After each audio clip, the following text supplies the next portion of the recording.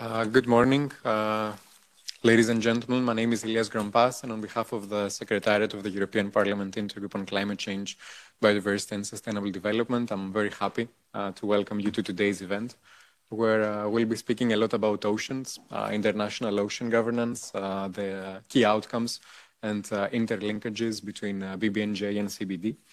Um, this event is hosting by MEP Ms. Catherine Chabaud, co-chair of the Working Group on Ocean Governance under the umbrella of the European Parliament Intergroup.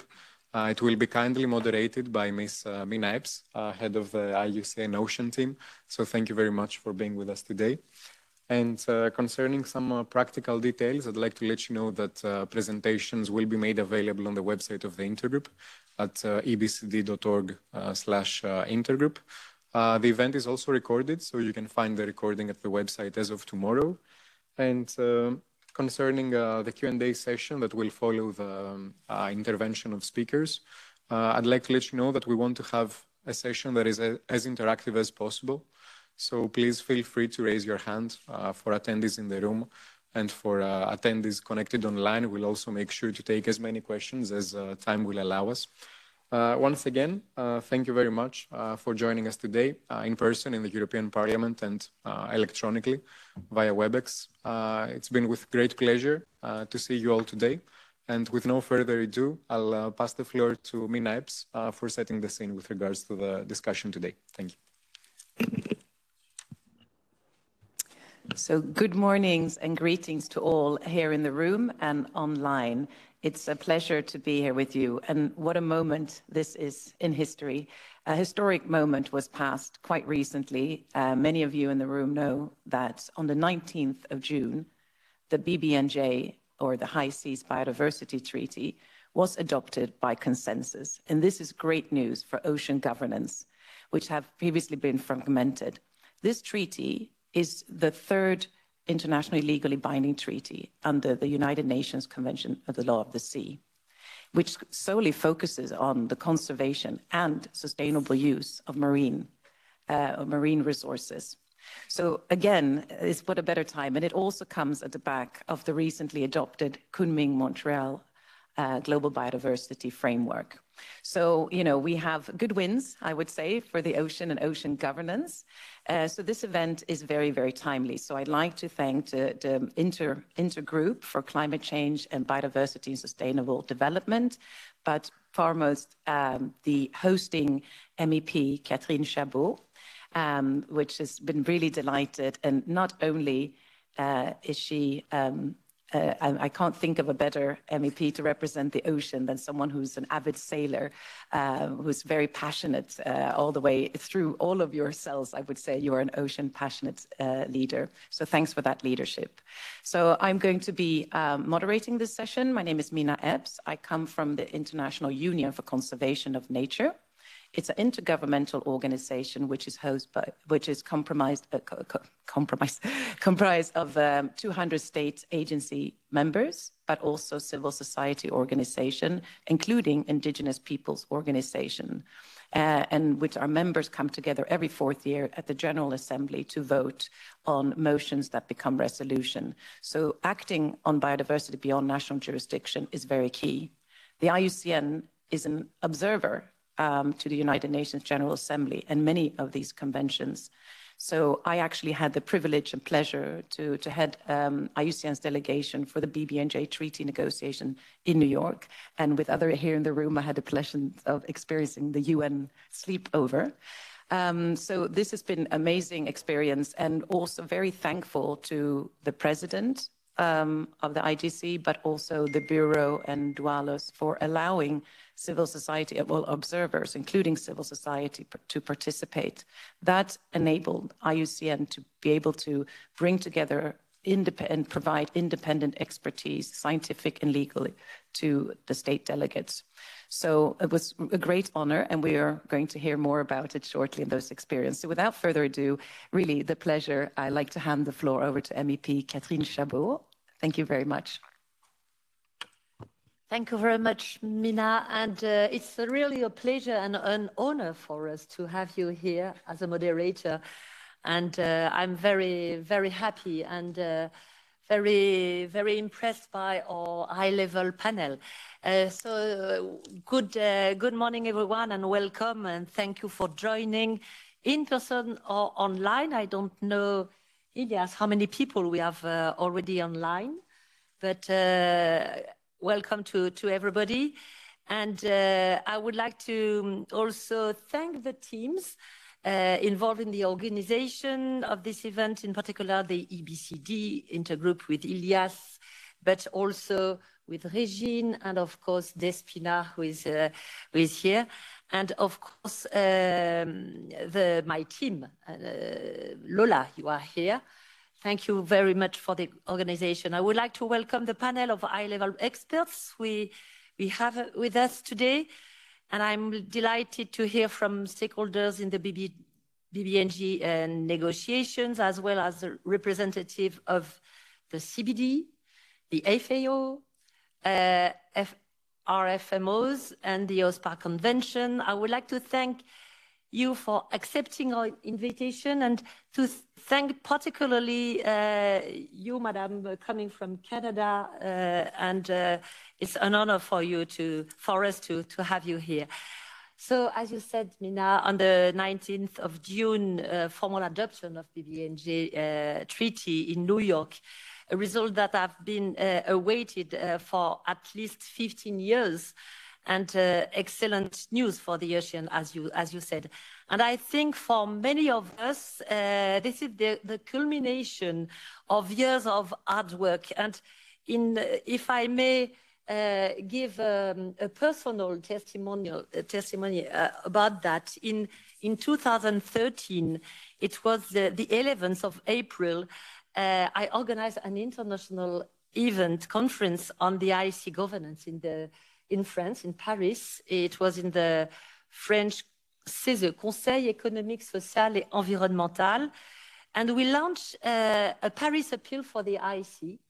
And in the text, we recognize the ocean as a common good of humanity, and the steering committee was beginning uh, was uh, the, the, the, beginning of the Ocean and Climate Platform that we, we launched one year after. So it was 10 years ago. So for us, it's uh, an achievement. While adoption is not yet a signature, still less ratification, it brings us closer to implementation. As you know, a few months earlier, the Kunming-Montreal uh, Agreement establishing a new global framework for the protection of biodiversity. So there is a lot going on at the moment in terms of major events for biodiversity and the ocean.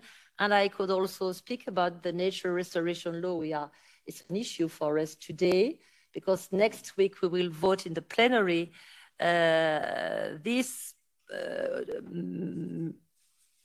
this text, this legislation, one of the pillar of the of our uh, Green Deal, and uh, but it's an issue to yeah to find a landing uh, area. So um, I'm not going to go into details of our subject as our speakers today will be able to talk about it better than I can. But uh, firstly, on the negotiation, there is a, lot of questions after this adoption. Firstly, on the negotiations themselves, I, I would be very interested to to to hear uh, from uh, Aurore Maillet, uh, and you, you will present uh, again from the, the commission because Aurore, you are uh, you have been how do you say the sleep? What sleepover. is the, the sleepover? I did not know the, the what is the translation in french? The sleepover? Very interesting. How do you how do you how do you translate in uh, french? soirée pyjama? La soirée pyjama. Okay. okay the sleepover and I, I salute really, uh, the tremendous work you, you have done.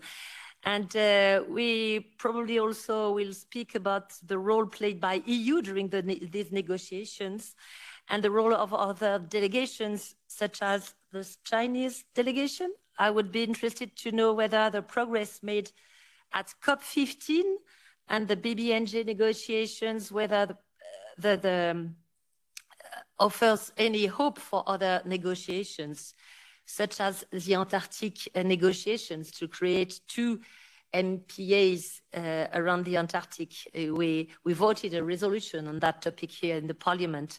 Although the shadow of Russia still hangs over these negotiations, and I could uh, also speak about the ongoing negotiation at the IMO on the revision, revision of the MARPOL uh, strategy to reduce greenhouse gas emissions from the maritime transport. I was in London yesterday, uh, those two last days, and uh, I'm very, I'm very interested to see how the, the what will be the conclusion at the end of the, the week.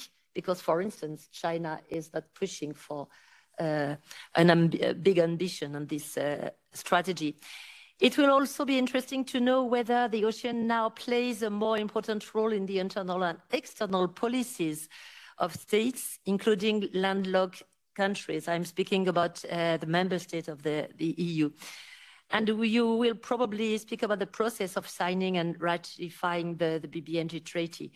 There are also many questions for all speakers about the content of BBNJ treaty, on the creation of marine protected areas, on the high seas. How, in practical terms, will this be implemented? On marine genetic resources and the sharing of benefits arising from them, the BNG Treaty has been widely acclaimed as a fair and equitable agreement enabling the, the sharing of knowledge and benefits with developing countries. Interesting to hear the, the point of view of uh, um, Madame uh, Jihyun Lee. That's if sorry if uh, the pronunciation is not the good one, but uh, you, you, are the representative of, of, the CBD here. What is the relation between the various existing frameworks? Uh, in particular, the, the, the, conventions for regional seas, such as OSPAR and the RFMOs. Probably a question for Mr. Campbell and Dominic Pattinson, but uh, our moderator will see.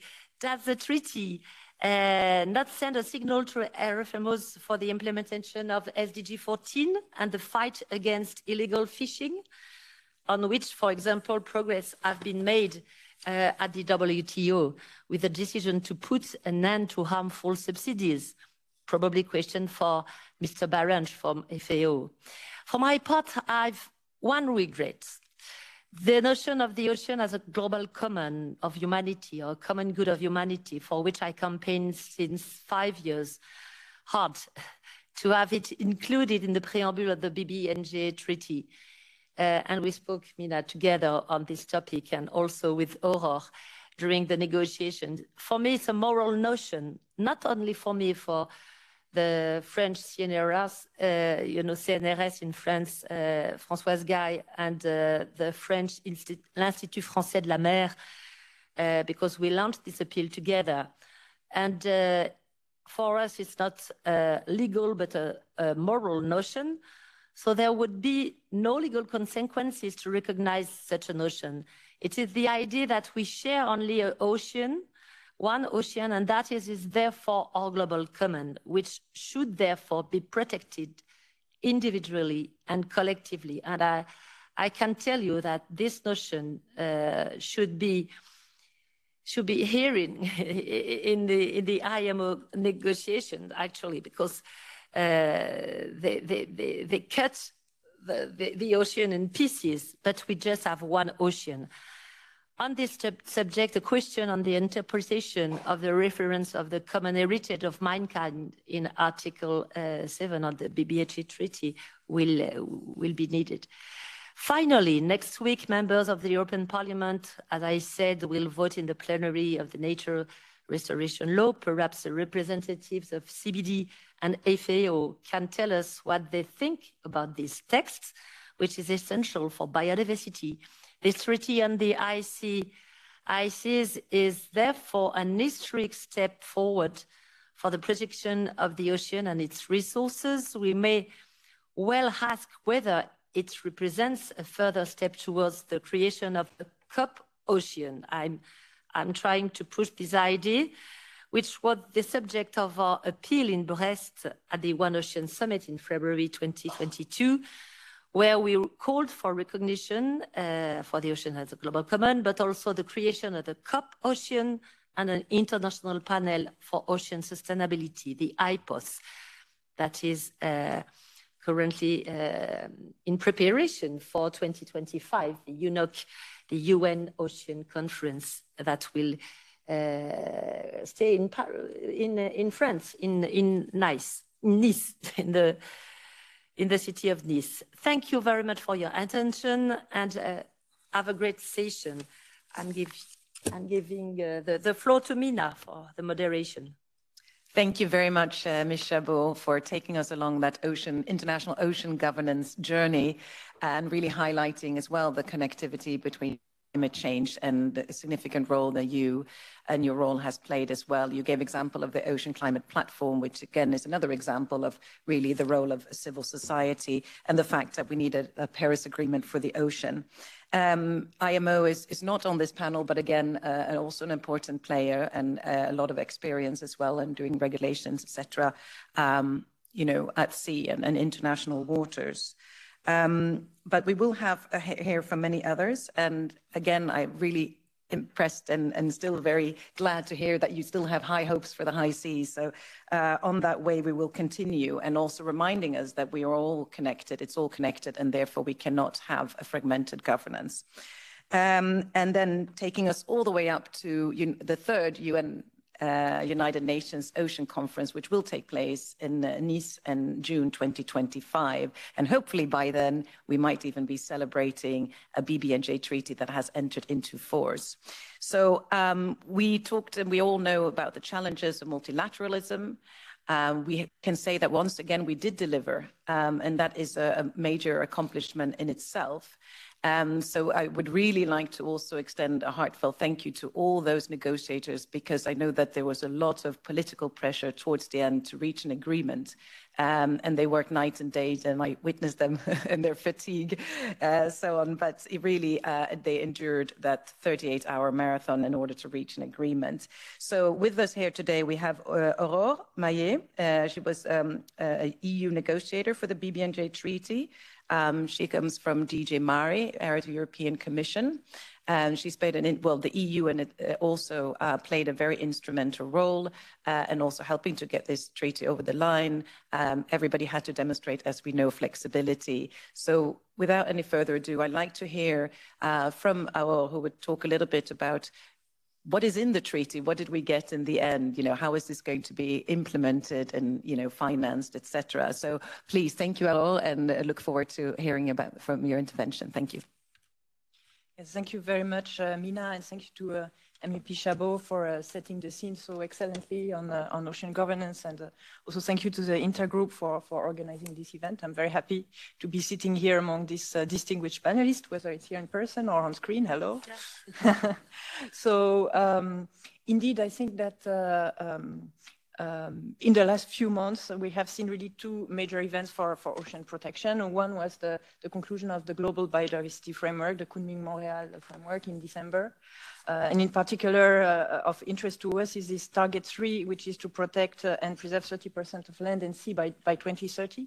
And the second event, of course, was the adoption of the, the, the BBNJ Treaty or, or the Treaty of the High Seas um, under UNCLOS, which, which uh, uh, made the headlines in particular because it will allow uh, the, the creation of marine protected areas in the high seas. Um, so there are a lot of other important elements also in the treaty. So I'll say a bit about, about that, but I really want to say that those two um, events, those two um, uh, agreements taken taken together really have the potential to be a game changer for ocean governance.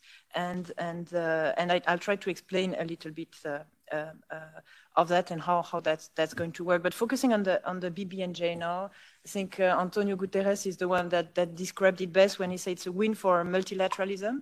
And it's true, the fact that the, it was possible to adopt the treaty in the UN by consensus uh, uh, with the current multilateral situation, I think was was a, a, big challenge, and I think it's uh, was probably one of the successes uh, of the EU to, to really um, um, ensure that, that all the key parties uh, were on board. Only the Russian Federation disassociated itself from, from the consensus. They received no support. And so we think that it's also very good news uh, for the implementation of the treaty, because for the treaty to be efficient, we need everybody on board, all the parties on board. So he said that was a win for multilateralism and a win uh, for oceans. And it's true that, that uh, also the results of the treaty was welcomed by um, NGOs quite unanimously. It was welcomed also by the fisheries organizations, including those in the EU. So I think there is a wide degree of consensus that, that's, uh, that uh, really exists at the moment around the High Seas Treaty. And I think that uh, that is uh, um, something that is also quite uh, quite exceptional and and that is a good omen for, for the implementation, the future implementation of the treaty and its um, entry into force. So what the treaty does is, is four major things in four major areas of action. The first one, and really the one that has been grabbing hearts and minds and media attention, is the designation of marine protected areas in the high seas and and and that's indeed very important and that was uh, you know one of the major priorities of the EU to ensure that it was possible to do that under the Treaty of the High Seas. So now the future conference of the parties under the treaty will be able to designate marine protected areas. We say here is a marine protected area. It will also be able to come with a, a management plan. So it will say in this marine protected area you need to take measure, measures A B C D in order to make sure that the environment is effectively uh, protected, that we are not creating what we call paper parks, so nice MPAs on paper, but nothing happening on the ground. So that's another very important thing that is in the outcome of, of, of the treaty. And, and, and what's even more important, I think, is the process that the treaty sets up in order to designate those marine protected areas. Because what does the treaty say? It says that you need to consult a lot. So you need to consult indigenous people, local communities, stakeholders, NGOs. Of course, you need to have a very strong scientific basis, a very good scientific base. You need to consult with all the other parties. Um, so, so uh, the the process which is in the treaty for me is, is, is a consensus building machine. It's going to put everyone around the table to discuss the objective to, to, to protect the high seas.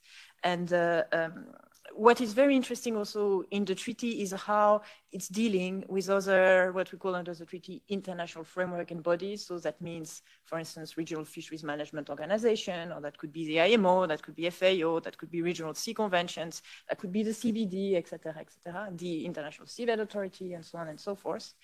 Uh, all those bodies will have something to do and can contribute to the protection of the high seas as well. And the treaty says okay, BBNJ, when you are going to come up with your list of measures in your marine protected area and you have to decide A, B, C, D, if, if that measure is under the competence of the IMO, for instance, it's going to, to have to do with uh, maritime traffic, then the BBNJ cannot take a measure because the IMO has to decide that, but the BBNJ will be able to make a recommendation to the IMO. So it will bring the IMO on the table of that, that uh, conservation um, uh, discussion. The same if it's a fisheries measure. It will turn to regional fisheries management organization and say, could you please consider, you know, this is what we would recommend as the BBNJ.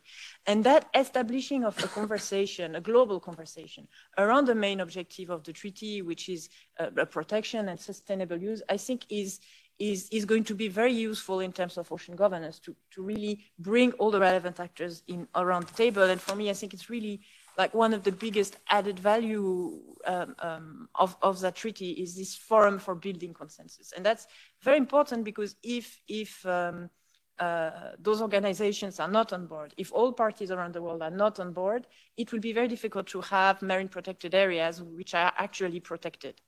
So, so that is for me the crux of the future implementation of the treaty is that we will have to work, all of us here around the table and with many others, um, together, together. And that means that, that we'll have to talk to each other a lot. And, and that is, a, uh, for me, what's going to be fascinating when we start implementing the, the High Seas Treaty. Uh, another EU priority, which made it into the chapter on marine protected area, is the fact that it will be possible to vote uh, to designate marine protected areas, and there's a three-quarters majority. So what it means is that it won't be possible for one single party to block forever and ever the establishment of a marine protected area.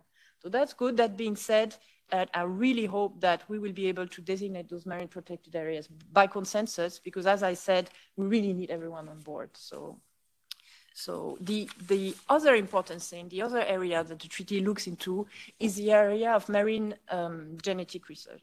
And that's an area that can, uh, uh, you know, look technical to some. But what's important to know is that really, or, or, to remember about the treaty is that it recognizes that when you are doing marine resource, uh, marine genetic research in the high seas, uh, mostly this research is conducted by rich countries. There are very few, maybe a dozen countries that can afford to have this type of cruises in the high seas. When you do that, the benefits you derive from it afterwards, whether it's benefits in terms of science, uh, for instance, the treaty says all science should be open access, so accessible to everybody in the world, whether or not you come from a country that can afford a cruise in the high seas, etc. But also the monetary benefits, which was a very difficult discussion we had within the treaty, and which I think we have been able to solve um, in a very good way, is also to say when you you you you derive innovations, those innova from research that you have made in the high seas, and you will create the next drug that will cure cancer, etc uh, well, there needs to be also a recognition that the profits will go to a certain number of countries, and these need to be shared with the whole world. So that's part of the contributions that the developing countries will be making to the BBNJ budget will go back to, to, uh, to the implementation of biodiversity as a payment for those monetary benefits. So that's quite an, an innovation, I think, in terms of international law, and that's, uh, I think, what was really uh, something very important to the global south in the treaty, and that's really going to contribute to, uh, to, to, equity. And I think it goes into um, uh, your direction, Madame Chabaud, when you say you know, that you are a little bit disappointed about uh, the common good, and I understand that, but I think that the philosophy behind all the provisions in the treaty has this idea in mind that you know we have to share the ocean. So whatever the words you, you put on it, I think the important is that this idea that you are championing somehow makes it into into into the treaty provisions. So so and, and I think the, the, the chapter on marine genetic resource is really a good example of that uh, and about how how we want to um, um, share something uh, which is common to the entire humanity. The third thing that the chapter is doing is to say, hey, if you're going to have um, big activities in the high seas, you need to have an environmental impact assessment. Uh, and also, you need to screen all, a lot of the activities that you would be doing in the high seas to decide whether or not they meet the threshold to have an environmental impact assessment. That's, uh, that's quite important. This was a, a, provision that existed in UNCLOS but wasn't spelled out. And what the treaty does is that it really spells it out giving a lot of guidance about how it should be. And another important thing that the BBNJ will do is that it will set standards and guidelines for environmental impact assessments. And that's also something where it will be important for the BBNJ to cooperate with those other international institutions that are doing environmental impact assessment, even though if you are doing an environmental impact assessment under another body like IMO or an RFMO, normally you are not covered by the EIA provisions of the BBNJ nevertheless, it's true that this global discussion on what is a good environmental impact assessment, how to do it, etc., is also a discussion that is going to happen around the implementation of the BBNJ, I think, and that's that's also very important another priority for the for the EU that uh, we managed to land in the, the treaty was the fact that there's a possibility now to do what we call strategic environmental impact assessment. So for big projects that, um, and not only for each little individual project. So uh, uh, there's a lot of consideration to be given to climate change, to biodiversity. So that links in also very nicely with uh, with uh, with the work of the UNFCCC, the work of the CBD, and so on. Uh, so so. Um, and, and, and then, of course, the fourth thing is that there's very strong capacity building element uh, into, into the treaty, also for the reasons I've outlined in the chapter on marine genetic uh, uh, research, um, so that there is some support to developing countries. And I think that's uh, um, um, uh, something that will be also very important for the EU, that we're able to be there and to uh, support this capacity building. We are the world's major donor, so I think it's important that we are there and that we are um, um, active on capacity building, and I'm sure that there will be an important role for the Parliament in that when they will be deciding on the budget. So please remember us when you have those those discussions.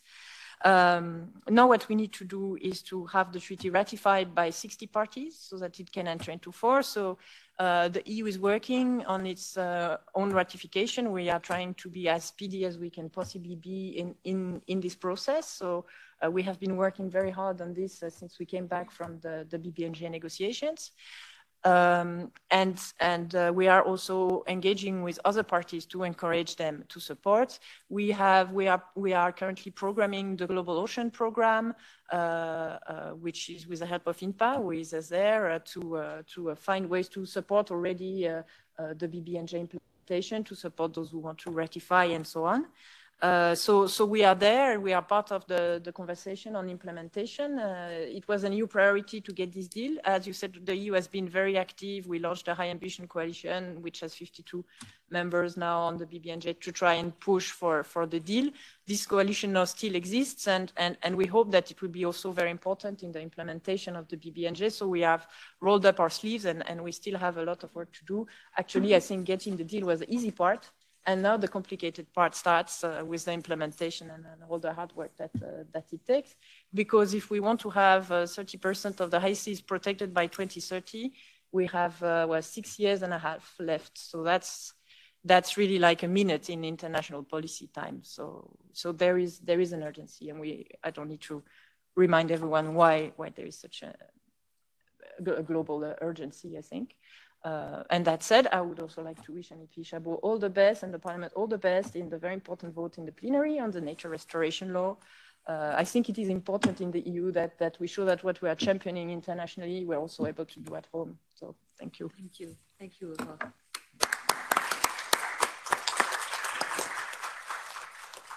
Thank you very much uh, for again taking us through the whole package deal, what you've got. And as you mentioned, as a comment before uh, when we were talking, it's very unique to actually have a treaty where everyone is happy. Um, of course, no one is fully happy because otherwise it wouldn't be successful negotiation. But on the other hand, it also means that civil society was happy with it, um, you know, but from the industry perspective, etc. So I think this is very unique and really highlighting that you know, European EU's role in establishing marine protected areas, which is something that obviously IUCN share in terms of having to have a scientific technical body, uh, not voting not by consensus. So it also shows that we've learned from other international processes, um, and we shall continue to do so. Uh, again, everything that you mentioned is great, but but also I'm very happy to hear that um, not just to focus on marine genetic resources in terms of you know the access and benefit sharing, but also thinking of research and giving adequate access for for all nations as well to access the, the research, and, and that's also part of equity. Um, and again, really pleased to hear the active role that the EU will play in, in supporting capacity building. That is key. Um, and again, you mentioned the 30 by 30. Yes, it's a tight run, but we're in the race to win it, right? So we will do all that we can to really, um, as you said, within all the procedures and processes that need to establish, which does take time, but you know, trying to accelerate it as much as possible.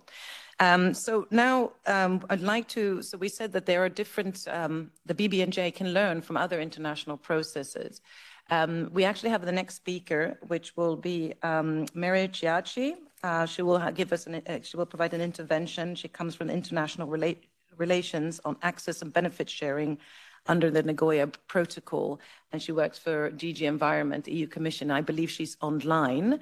And would, could you please share with us your intervention and also remind all speakers to, to stick to the time as we're a little bit short. We want to keep a lot of time for questions in the end.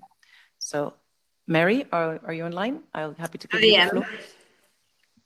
I hope you can hear me well. Good morning to everybody. Thanks a lot for inviting me to this very interesting uh, uh, event. Um, yeah, I, thanks for sharing the presentation. I've prepared a, um, a presentation to go through the content of the global biodiversity framework, which was uh, uh, mentioned also by my colleague uh, Aurora a moment ago, uh, which definitely signed a milestone, I will say, in the global protection of uh, uh, environment and in particular conservation and sustainable use of biodiversity and benefit sharing from genetic resources as well. maybe we can go to the next slide. Thank you. Yeah, precisely. Um, in Montreal, uh, in December 2022, uh, COP15, the Conference of the Parties uh, of the Convention on Biological Diversity, uh, successfully adopted the Global Biodiversity Framework, which is now known as the Kunming Montreal Biodiversity Framework. As you probably know, uh, um, the presidency of the COP was run by, by China, and the conference was supposed to be held in China, but because of uh, uh, uh health issues related still to the pandemic, COVID pandemic, it was not possible to uh, um, Uh, have the conference in China, and then this was hosted by uh, uh, uh Canada. This is why we have this uh, um, long name. But besides that, I think that we have to highlight and stress the fact that COVID certainly uh, delayed the adoption of this framework of two years because this was supposed to be adopted in 2020 when the urgency was already there and i would say that now is even uh, uh, uh, uh more uh, evident to everybody. And I'm, and I'm of course talking about the loss of biodiversity and the fact that this is of course related also to climate change and is impacting many other relevant uh, uh, uh, policies for the survival of, of, of, humankind, but also of other species, uh, animal ecosystems, and everything is needed for, for, for well, the well-being of our uh, planet. So it was really urgent, it was really needed, and we managed to adopt it, even if the circumstances were not ideal. And of course, there were several challenges also related to the political climate, like, of course, the, the, the, the, the, the um, war in Ukraine and the food crisis and many and many others. But I would say that really the EU, uh, uh, together with the member states, played a, a, a, a, relevant role in these negotiations. I would even say um, a, leadership role in uh, um, trying to find compromises only on the, also on those very very uh, um, complex issues, like, for instance, the issue of establishing a new fund for biodiversity and benefit sharing from digital sequence information, which is related to, my, uh, to genetic resources. We can go to the next slide.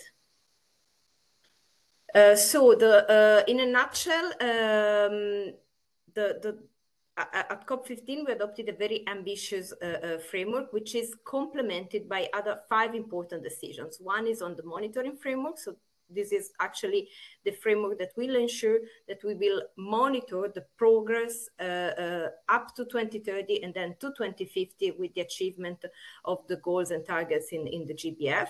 There is also a decision, of course, on planning, reporting, and review of the implementation. And this was also very important because in the past, what we have seen in the global governance of, of biodiversity is that even if we have very good uh, uh, uh, targets, like the Aichi targets, for instance, or, um, or very good objectives in the convention or other multilateral environmental agreements. We don't have sorry, there's something that is bothering me here. Okay.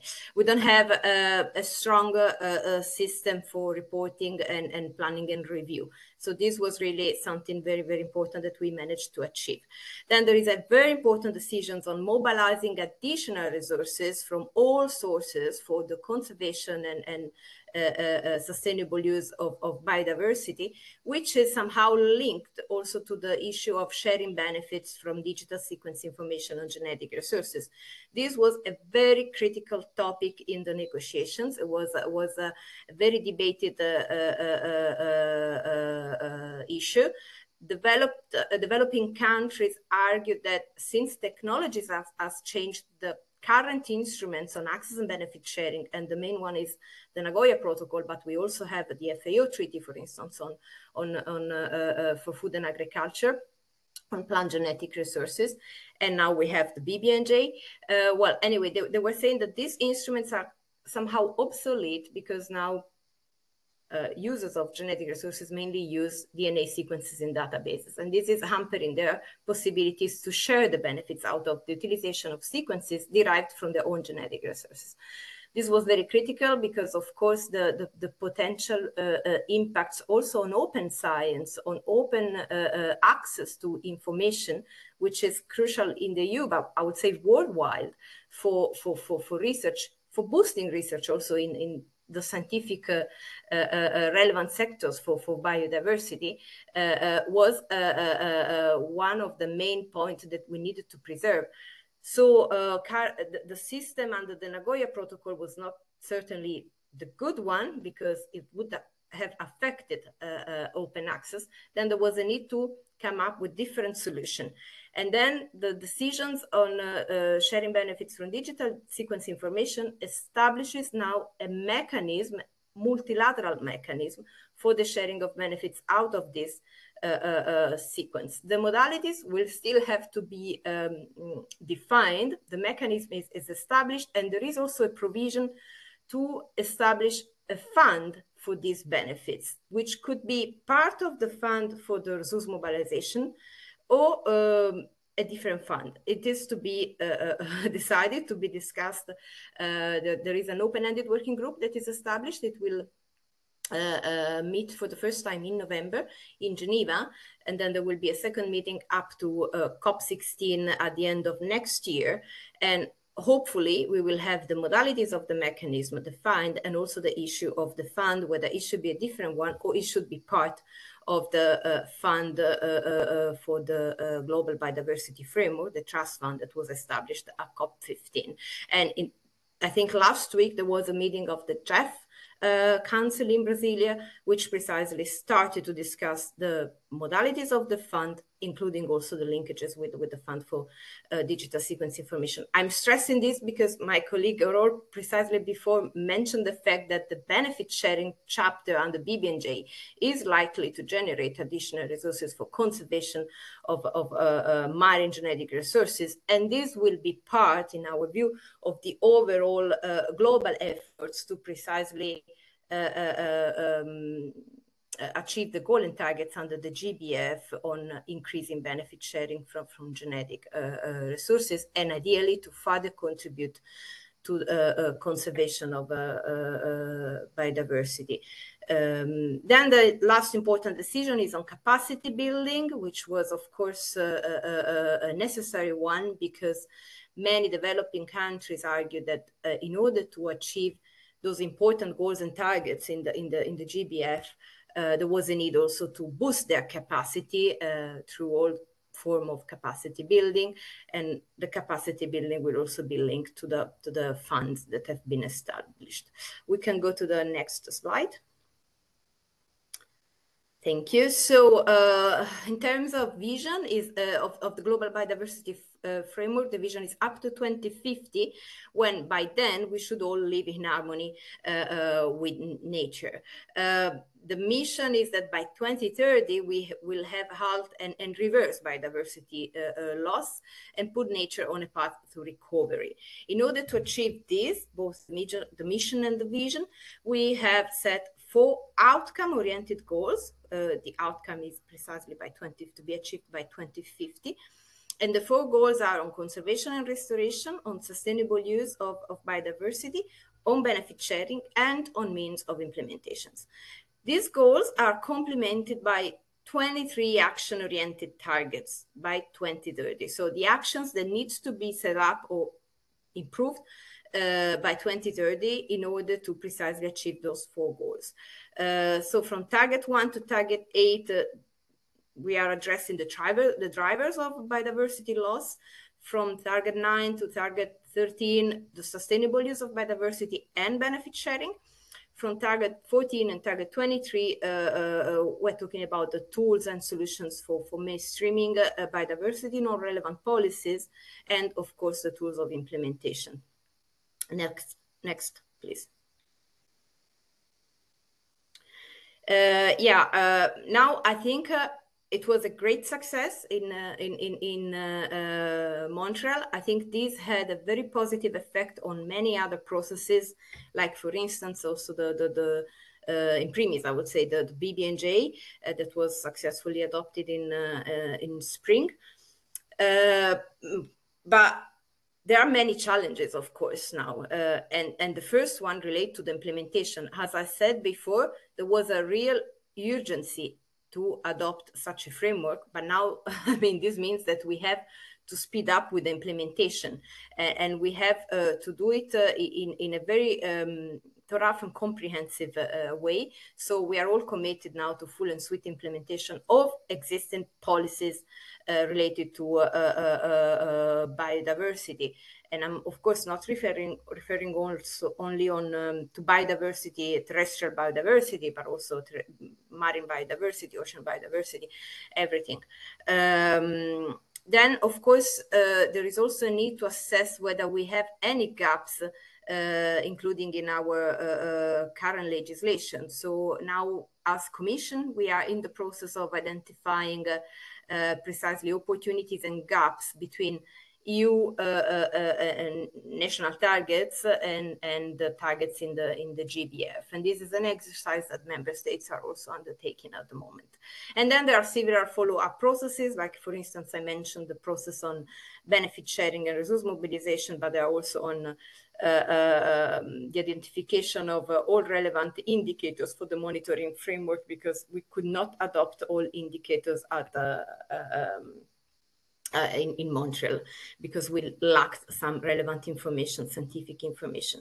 So in general, I would say that uh, the entry into force of the BBNJ and its implementations potentially can greatly contribute to the achievement of several goals and targets of, of the uh, global biodiversity framework. At the same time, we also believe that the, the, implementation, the effective implementation of the GBF can deploy pos positive effects for, for the BBNJ. And now we can see maybe a little bit more in detail uh, uh, uh which targets maybe are more relevant for, for the BBNJ uh, discussion. Next, please. Next slide. Okay, thank you. Yeah, Aurora mentioned before uh, target 13 precisely, which is known as the 30 by 30. So uh, it under target 13 by 2030 we should uh, protect at least 30% of terrestrial and inland water areas and of marine and coastal areas uh, of particular relevance for, for, for biodiversity and ecosystem uh, functions and, and, and, uh, and services. So those areas should be conserved and managed through uh, uh, um, ecologically and well-connected and equitably governed systems of protected areas precisely. So this I would say is the, the, the, the core of the, of the GBF and is certainly also uh, uh, the, the probably most relevant target for um, the, the, the, the BBNJ. But there are also other uh, important targets, like for instance, the next one, next slide which is precisely the one on benefit sharing and also the decision on digital sequence information.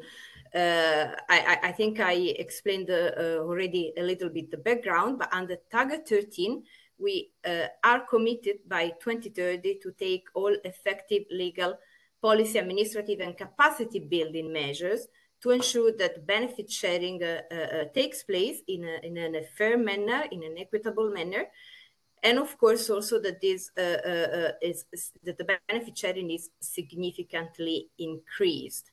Uh, I would say that the BBNJ as such as an instrument and, and, and when then it will be enforced and will be implemented can definitely constitute Sorry, dear, dear Yes, yeah. I, I would lead you to wrap up uh, because we need to have time for the Q&As. Maybe we can save some of the information for the Q&A. Thank you. Yeah, yeah, I am. Um, so I would say that the BBNJ certainly constitute one of these uh, uh, instruments. And then on DSI, I think the issue is even uh, uh, uh more relevant.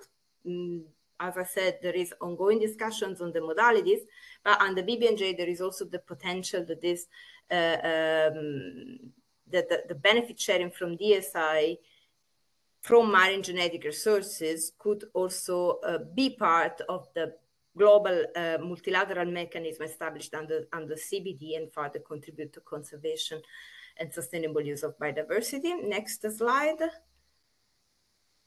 Yeah, here is just uh, very quickly to say that there are also many other targets, like the target on, on, on climate and, and of course, uh, um, one of the of the uh, measures to take here is to minimize impact of climate change on, and ocean acidification. So this is what I would I was saying before.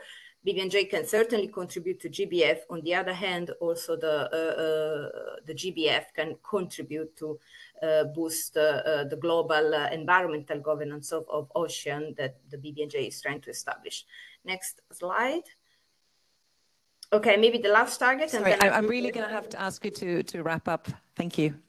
Okay, this is the most very important uh, uh, element, and it's about the targets on resource mobilizations. We all have committed to double global biodiversity finance uh, uh, uh by 2030. And as I said before, uh, this goes to this is not referring to contributions at state, let's say, from from from parties, but from resources from all sources. So the big challenge now is really to mobilize the private sector and uh, everybody is taking advantage of, of the use of biodiversity and contributed to the protection of biodiversity. This goes together also with the uh, uh, uh, goal to uh, identify the harmful incentives and uh, uh, reduce them until we can eliminate them.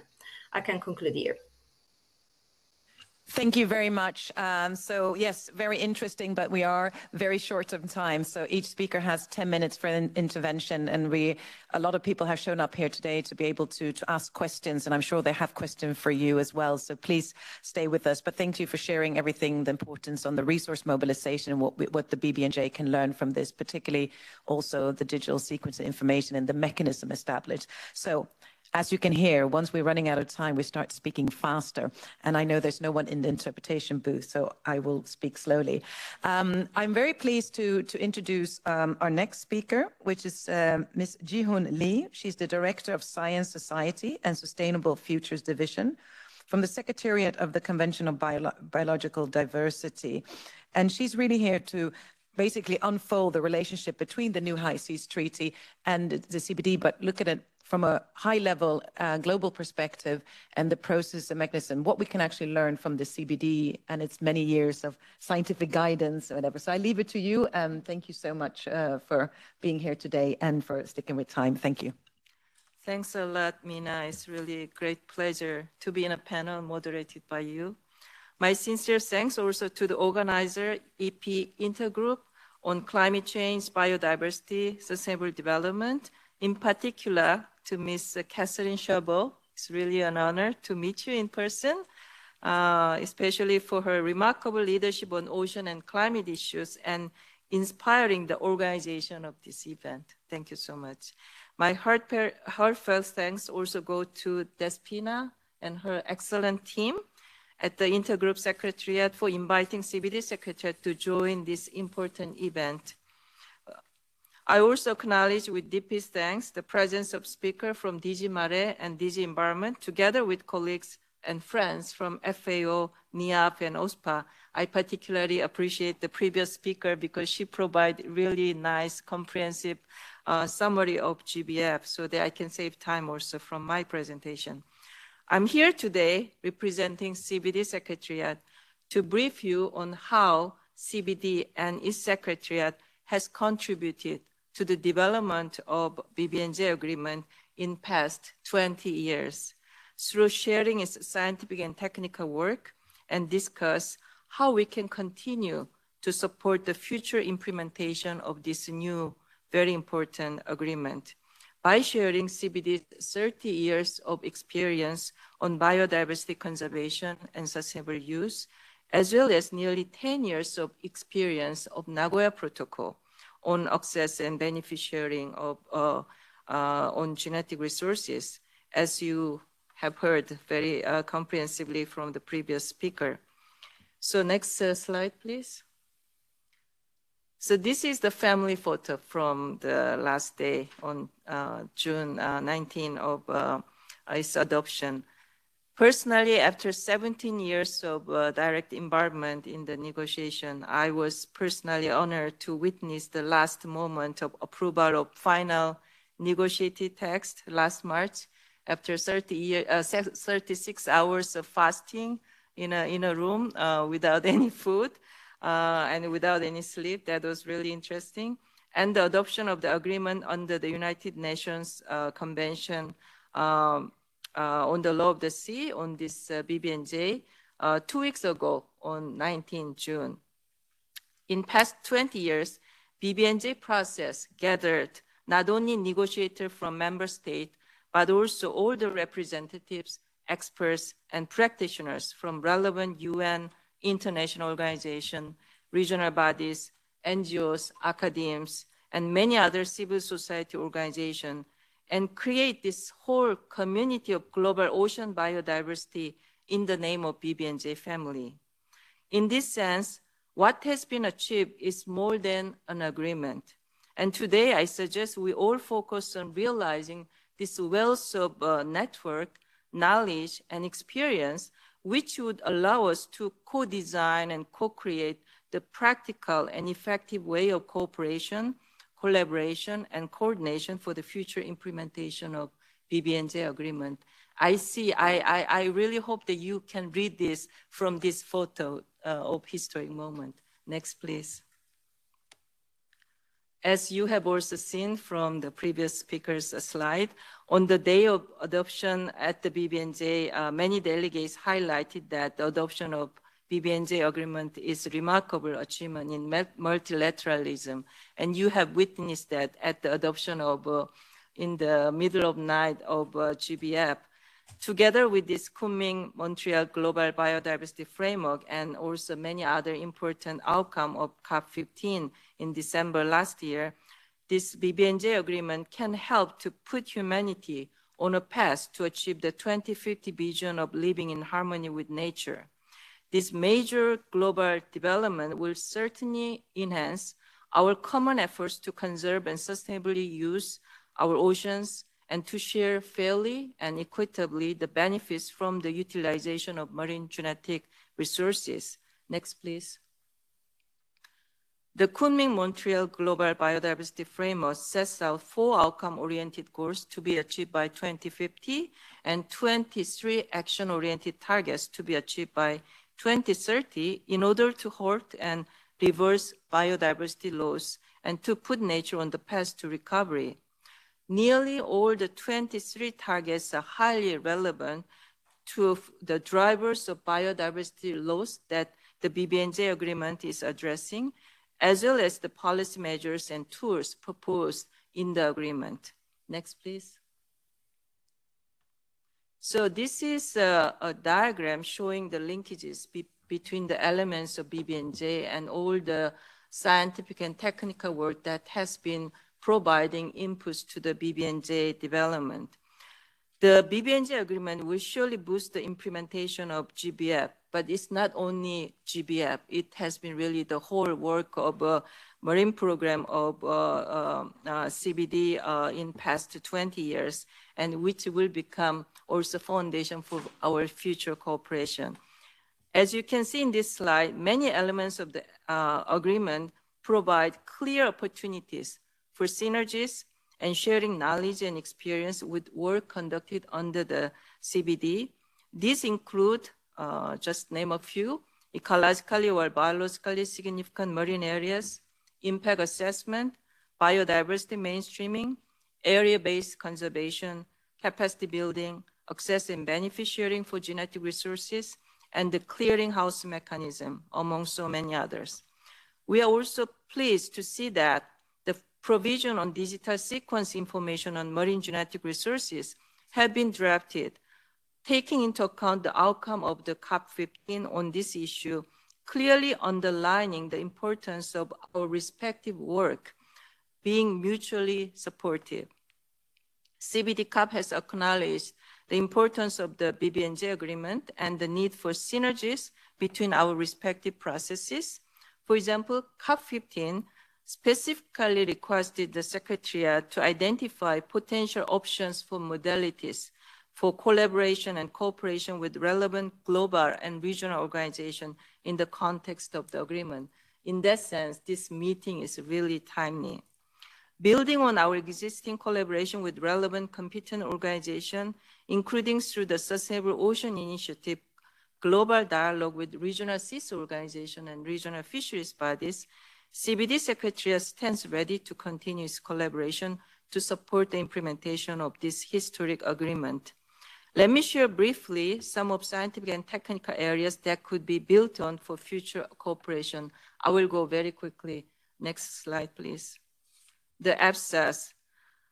I don't know how much uh, you are familiar with the EBSA process, but uh, CBD Secretary in past uh, more than a decade uh, has informed the deliberation of BBNJ process, bringing all this very science-rich uh, EBSA description, um, identifying very special areas in the ocean. The EBSA process through regional workshop has covered nearly 76% uh, of global ocean area and about 20% of global ocean area has been described as meeting the scientific criteria for EBSAs. All the relevant scientific information has been shared with UNGA and as requested by CBD COP and made available in the global EBSA repository of CBD website. You can see with the map, with polygons, and with the, all the scientific assessment uh, done, uh, compiled by the, the scientists and all the list of references. So let's move to the next slide. And all the guidance and tools. The Secretary has informed uh, on various relevant guidance and uh, guidelines emerging from the Conference of the Parties from the CBD, such as the voluntary guidelines on biodiversity inclusive environmental impact assessment and strategic environmental assessment, which were annotated particularly for marine and coastal areas, including ABNJ, as well as guidelines on marine protected areas, OECM, other effective area-based conservation measures, marine spatial planning, or those uh, guidelines addressing various uh, uh, threats on biodiversity loss. Next, please. And we have also this platform called Sustainable Ocean In Initiative, which was also acknowledged uh, by UNGA resolution, created at COP10. At the time, it was responding to, to the implementation for Aichi target in Nagoya. And it has survived all these years and still providing a platform for uh, partnership, especially to help developing countries with the implementations through capacity building. And since 2016, it has also uh, initiated this global dialogue with the various uh, uh, regional seas organization and regional fisheries bodies, together with FAO and UNEP. And actually, all the speakers in, uh, in today's panel are part of our partnership. And then this will provide a very good, uh, uh, effective framework for the cooperation also for the future. Next, please. Clearinghouse mechanism will be an important tool for the implementation of BBNJ agreement, in particular related to fair and equitable sharing of benefits uh, from the utilization of marine genetic resources. CBD and its two protocols have a long-term experience including both success and, of course, failure stories. And sometimes failure stories can provide very good lessons on the development and operationalization of clearinghouse mechanism. And this experience could be another area of future cooperation that we can share. Next, please. I'm almost there. So as explained so far, CBD and its secretariat have accompanied BBNJ family throughout this uh, long journey in 20 years in achieving the historic adoption of BBNJ agreement. In particular, CBD Secretariat highly appreciate our close collaboration with colleagues at UN Division for Ocean Affairs and the Law of the Sea, who has guided this BBNJ process with such dedicated efforts and professionalism. I believe they were too busy to finalize the, the agreement in June and could not be part of it, uh, this event, but hope that we can have another event soon with them. So uh, uh, in I, I, mentioned this COP15 request that CBD Secretary is tasked to uh, explore the, the modality for cooperation. So we started conversation with the DOALOS to identify possible areas for future cooperation. In fact, I'm having a meeting uh, with them uh, next week in, in New York. So we'll continue this and also in through various fora like this event, we'll continue our conversation with various other partner organizations, of course, including IUCN or the regional bodies and then other, other global bodies within UN Ocean uh, Coordination Mechanism so that we can most effectively support and contribute to the future implementation of BBNJ agreement and creating synergies as requested by the COP with our common efforts for achieving global goals and targets of the GBF. So my last one with thanks, I invite all of you to join hands. Last slide, please. To join hands moving forward from agreement to action to build back biodiversity in both national and ABNJ. Thank you so much.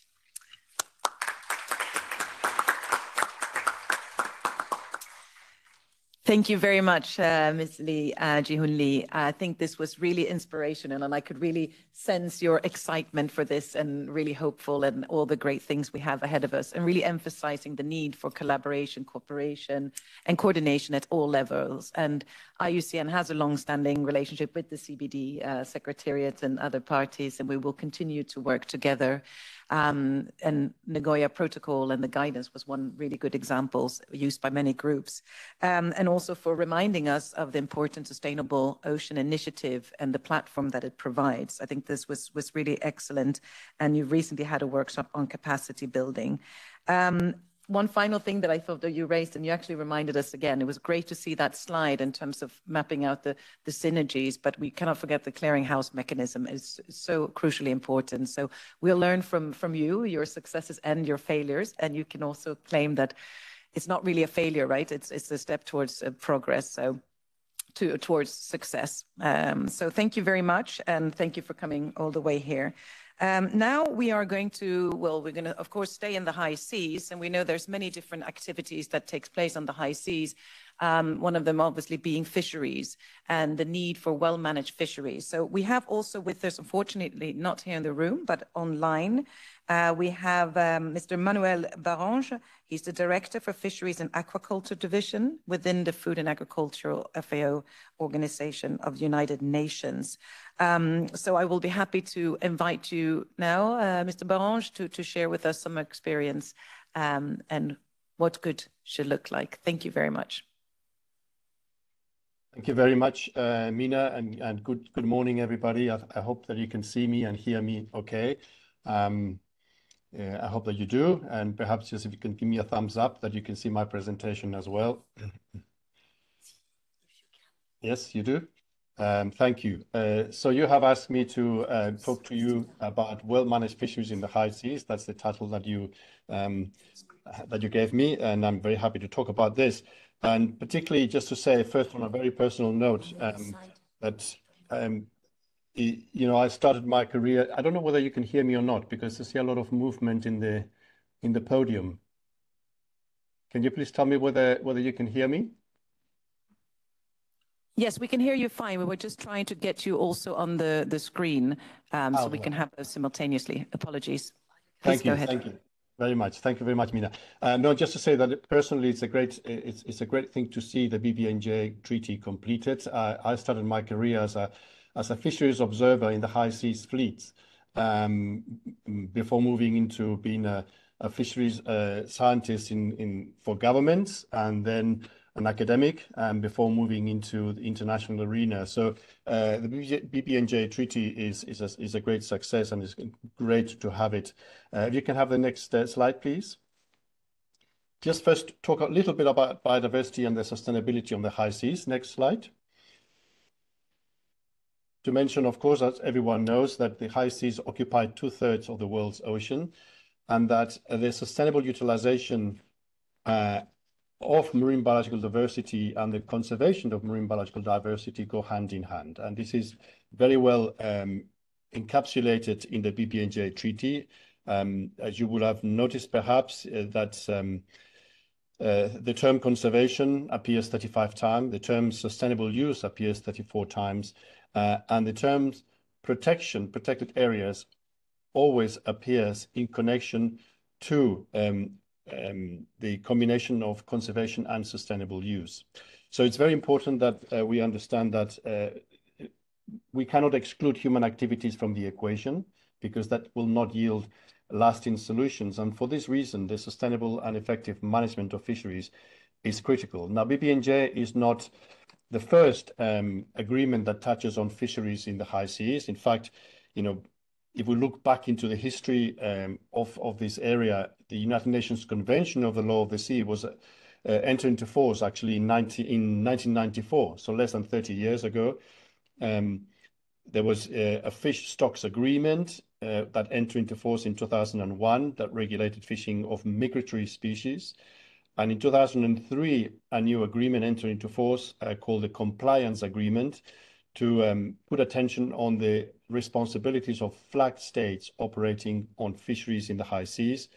And more recently, in 2016, the Port States Measures Agreement that regulates or prevents uh, IUU fishing puts the pressure on port states um, in relation to high seas as well as EEZ operations.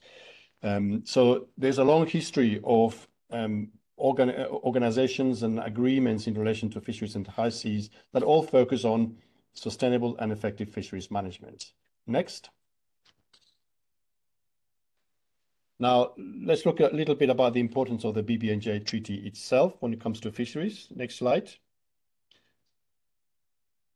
First, uh, recognize that the agreement is elevating global efforts to promote sustainable use of marine biological diversity, um, taking marine ecosystem conservation on the high seas at to new heights. The BBNJ fosters collaboration and establishes a robust legal and institutional framework for ocean governance. It provides opportunities to strengthen capacities to promote biological diversity in areas beyond national jurisdiction. It facilitates the establishment of area-based management measures. I think this is very important to recognize um, that the treaty talks about area-based management as the as the cornerstone of the agreement. Um, if you look at the agreement itself, the text refers to area-based management measures, including marine protected areas. Um, and this is very important because area-based management is what the agreement is about. Um, please remember as well that when it's mentioned marine protected areas, that there is a definition of marine protected area in the agreement, and that that definition uh, also allows for sustainable use. So it's very important to understand that we, you know, we don't, we, uh, our obligation as an international organization and intergovernmental organization is to interpret the agreement based exactly on what the agreement is about, and it is about area-based management measures. It promotes technology transfer, and it will drive progress towards the achievement of the 2030 agenda. Next. Now, FAO is is a very trusted partner for BBNJ implementation. I just want to say that FAO was deeply involved since the inception of the discussions on the treaty in 2007, more or less, um, being part of the ad hoc open-ended informal working group, and then the preparatory committee, and then through all the um, the five um, IGCs uh, meetings that led to to the agreement. So we feel that we are very well placed to to help members in implement the agreement. Next. The areas that we will offer support to members, first of all, um, let me just mention data collection and analysis, because of course, we are the international organization responsible for global fisheries data collection, analysis, um, interpretation, and dissemination, and we play a pivotal role in driving sustainable fisheries worldwide. We have a number of platforms, like a coordinated working party on statistics that defines what data should include and how Um, to validate and curate that data. But in particular, our role will be in terms of ocean governance, in terms of coherence and coordination of ocean governance. Um, as I mentioned, ocean governance actually has a long history of agreements. The BBNJ is by no means the first one, and those agreements need to be, uh, if you want, for a lack of a better word, need to be massaged in to make sure that they they are consistent and they they as uh, they help each other, just as the BBNJ agreement requires. Um, in particular, I just want to, next slide, uh, recognize that there is a very large network of uh, regional fisheries bodies, um, some of them regional fisheries management organizations, and the RFMOs have management responsibilities, as they title Uh, indicates, um, based on the uh, commitments that the its members uh, have given them. But there's a number of other organizations providing coordination in the in the high seas, and it is gonna be very interesting to make sure that the development of these regional fisheries bodies, and there will be new ones, for sure, as a result of BBNJ, that are actually consistent and coordinated with the implementation of BBNJ. We will be uh, committed to supporting the ratification and implementation of the BBNJ treaty um, through the members, through the FAO members, uh, leveraging uh, the network that we have of regional fisheries fisheries bodies. Uh, I just want to mention as well that all these bodies, in fact, are represented in the FAO Fisheries Committee that meets every two years, and that in fact this week, and the reason why I'm not in Brussels you, with you today is because this week the FAO is running its conference that is running every four years, and that conference has created a new fisheries management subcommittee in FAO that every two years will be looking at fisheries management advancements. And I think that the regulation of the high seas, the management um, through the regional fisheries management organizations will be key uh, to these debates in, in FAO. Next. We will be working as well in terms of developing capacity in members particularly in relation to um, um, uh, implementation of area-based management tools to conserve and manage fish stocks, uh, protected habitats, and preserve vulnerable marine ecosystems, which are things that we, we've been doing for, for some time. Um, next slide. I think that I'll just want to highlight two very important and very large programs that FAO has in terms of hand, hands-on support uh, to countries. We have a number of projects relevant to BBNJ, specifically the EAF Nansen and the uh, Global Environmental Facility Common Oceans Program that are very relevant. First mentioning the EAF Nansen, which is a, a program that has more than 45 years of history in FAO, supporting approximately 32 African countries at the moment, building capacity on fisheries biology, on fisheries management, on stock assessment, but to note that in the last few years, um, the, the Nansen and, and, the program is anchored on the Dr. Fridtjof Nansen research vessel has actually conducted five large high seas surveys providing information in some of the least observed um, um, ocean areas of the world. And in the next phase that is about to start includes linkages uh, to international governments and BBNJ specifically and has five large high seas surveys planned. Next. At the same time, um, the Common Oceans, which is a global environmental facility program uh, that has been running already for uh, almost 10 years um, on the, the high seas, has already helped in the first phase create 18 new areas to protect, protect vulnerable marine ecosystems, reduce pollution, and rebuild tuna stocks. We are very pleased to say that 78% of tuna stocks in the world are no longer overfished and 85% of the tunas in the markets are from uh, sustainable stocks, partially thanks for the work of this program. Um, the second phase of this program is just started, focusing again on tuna, on deep sea fisheries, and, cross-sectoral cooperation. Next. I'm aware of the, the time, so I'm just going to very quickly to the last bits that some of the things that we're going to be doing in FAO is first, translating the BBNJ treaty for the fisheries and aquaculture sector. There's much to be done there to fully understand the implications, how to massage those with the regulations inside RFMOs, developing a program of collaboration and capacity building.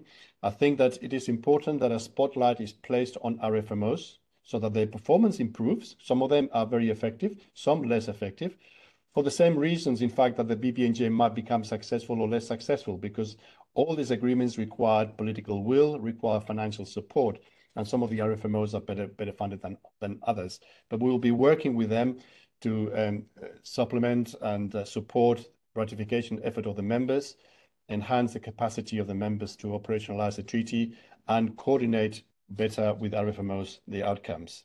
Next. And just to end, uh, of course, the FAO has a long history of, uh, of development of normative work in relation to high seas, high seas fisheries, be that bottom trawling, bottom fisheries, uh, pelagic um, fisheries, uh, climate impacts in the deep ocean, habitat protection, vulnerable marine ecosystems, catch documentation schemes for deep sea fisheries. And this very rich information is what we use continuously to support members and we will do that in terms of supporting the BBNJ implementation. And to end, my last slide, um, it is important to recognize that we need to transform the way that we use marine resources, transform the way that we use the marine environment. Um, that is part of the uh, FAO vision of blue transformation that perhaps some of you might or might not have heard of.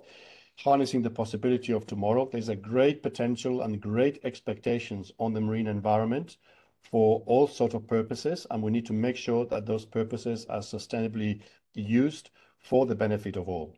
Thank you very much. Minna, over to you.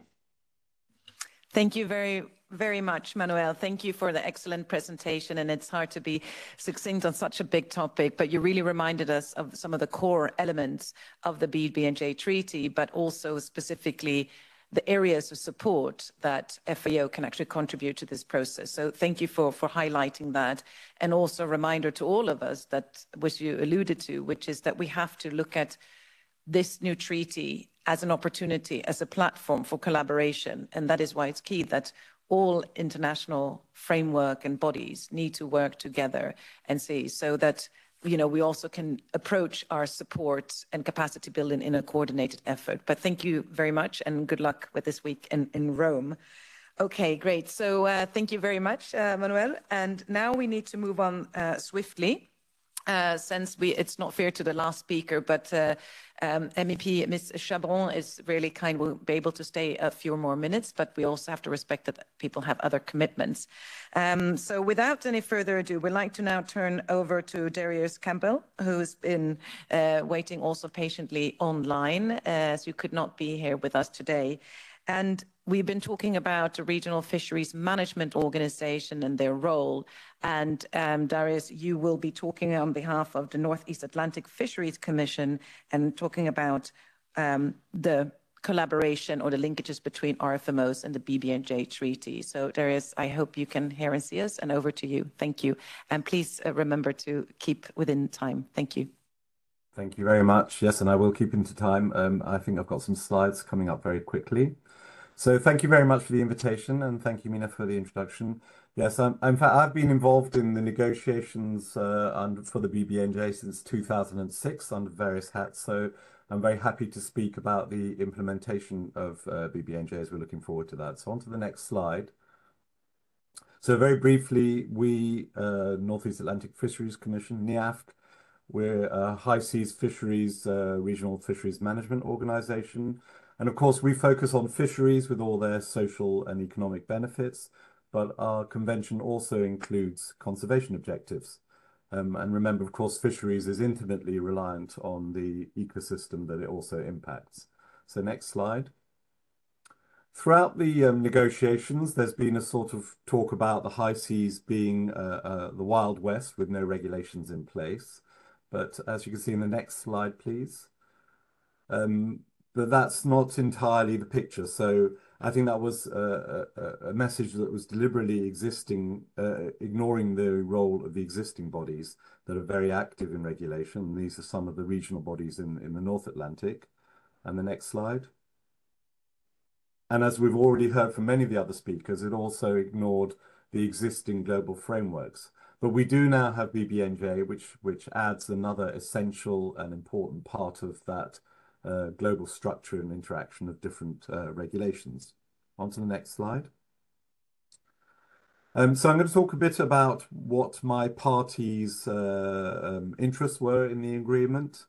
And firstly, I have to say that my parties do have very different views uh, and different emphases in the BBNJ. So with the European Union, Iceland, Norway, the Russian Federation, and UK all had different views and emphasis in the negotiations.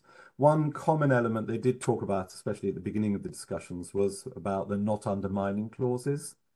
Um, and that's not about parties wanting to work in silos in the high seas, but it did express a view that um, where all relevant work organizations could work under the BBNJ, this would be under their and within their own expertise and their own competences which we will see played out in the implementation of the BBNJ. Next slide, please. Um, and as others have said, um, obviously area-based management tools are a key element um, for us, and that covers not only MPAs, but the uh, other effective area-based conservation measures, which will be delivered by sectoral organizations. And the next slide. Um, Oh, sorry, can we go back up one, actually? Um, yeah, so one of those, one of the um, uh, elements that I I'm I would very briefly cover on that is that NEAFC has since 2006 had conservation as part of its um, its agreement. Part of the convention was was updated to reflect that properly. And as such, we do have area-based measures for the protection of biodiversity, focusing on vulnerable marine ecosystems, so sponges and corals in the deep seas. And that effectively covers 98% of our regulatory area, the high seas, with protection against bottom fishing. And in fact, 7% of those uh, of that total area, the red-marked areas, are completely closed to bottom fishing. So if we can go to the next slide. And those measures are informed um, by independent, holistic scientific advice. So again, that scientific element is very important for us as it is under the BBNJ. And the next slide. Um, and where we do have area-based management tools, we also like to work with other organizations such as OSPAR, who have high seas MPAs, and uh, Dominic will talk to us about that. But um, That has been through both an MOU and through something called the collective arrangement. And That is something where we meet every year, and we talk in detail about the interaction between our NIAF measures and OSPAR's measures. And so, for instance, eh, currently we're talking about our measures on the seafloor and OSPAR's measures eh, in the water column. And we're all talking about ecosystem-based management. We're talking about bycatch, um, and we're talking about how we can engage in the BBNJ process. I think both of our organizations feel that regional bodies have expertise and perspectives that are unique, um, and this will need to be built into the process of discussions under the BBNJ. Um, and actually, the BBNJ also provides a useful framework for us to deepen our engagement, in particular with, with global bodies such as the International Maritime Organization or the International Seabed Authority. So the next slide. Um, one thing I just wanted to emphasize um, for regional fisheries management organizations and their role uh, under the BBNJ is that we do monitor and manage our activities in the high seas very closely through long-established and very effective monitoring, control, and surveillance. And this does mean that we're well able to identify the human pressures and impacts from our activities. Um, and if areas are designated under the BBNJ with conservation objectives that may need a change in fisheries management, then we can effectively put them in practice and then enforce them. And my experience so far with high seas MPAs development so far is often the biodiversity evidence is really, really strong. So you know what's going on in terms of the birds or whatever. Um, but actually, the assessment of human activity and the impacts of that is often quite weak. Um, and that means that can then lead to um, MPAs being established, but the programs of measures are not developed very quickly, and also the implementation is poor. So I think that's something that um, could be a temptation why a lot of organizations want completely closed MPAs with no human activity because of that difficulty of articulating management. So I think, again, RFMOs can play a really important part in developing effective MPAs, but they must be consulted properly. And I'd say probably even more than consulted, that they'd be co-creators of those measures. So on to the next slide. The other uh, area of key key, interest in the BBNJ for NIAF contracting parties will also be the provisions on environmental impact assessments in the high seas. I don't think this will be something immediate for NIAF, but we already have in this very complicated slide, we have a whole series of um, Uh, requirements where we want to start, if any um, uh, country wanted to start bottom fishing in our restricted areas, they'd have to go through a pre-assessment and then exploratory fishing with very close monitoring over two years. Um, and in the light of the BBNJ, we might need to expand these environmental impact assessment requirements so as we cover other biodiversity uh, as opposed to just the vulnerable marine ecosystems. So That is something that we will be looking at. So if we look at the next slide, please. So That is really just highlighting the fact that there is still a lot of detail to be resolved, not just the ratification of the treaty, but also the processes, the structures, the practical implementation will all need to be worked out. And the next slide.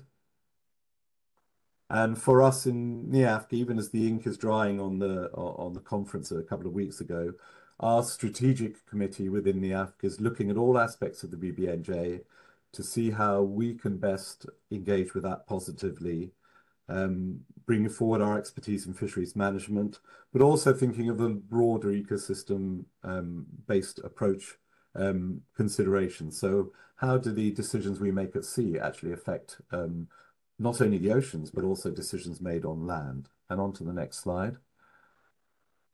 And this is thinking about um, all the global frameworks we're in, but particularly thinking of the Sustainable Development Goals, thinking about targets on food security and sustainable use. Um, our fisheries produce millions of tons of um, relatively low carbon, low impact human protein that ends up in countries such as Egypt and Nigeria. Uh, and every decision we make about production at sea, as the FAO has pointed out, also have impacts on food production on land with all the water and land use and carbon implications there. So I do hope that the BBNJ will enable decisions aiming to optimize the achievement of all these three pillars of sustainable developments, in not just in our seas, but also in coastal and areas, and also for our planet as a whole. And going on to my last slides, um, just to go back to that mention that Jihyun's had of the Sustainable Ocean Initiative, this has been a very effective engagement between regional fisheries bodies and regional fishery uh, regional conservation bodies, um, and I think we've been able to show that we can work on common objectives related to biodiversity protection, each within its own competence and expertise very effectively. So I hope the BBNJ will be an opportunity for more of that. And that takes me to my final slide. Thank you very much.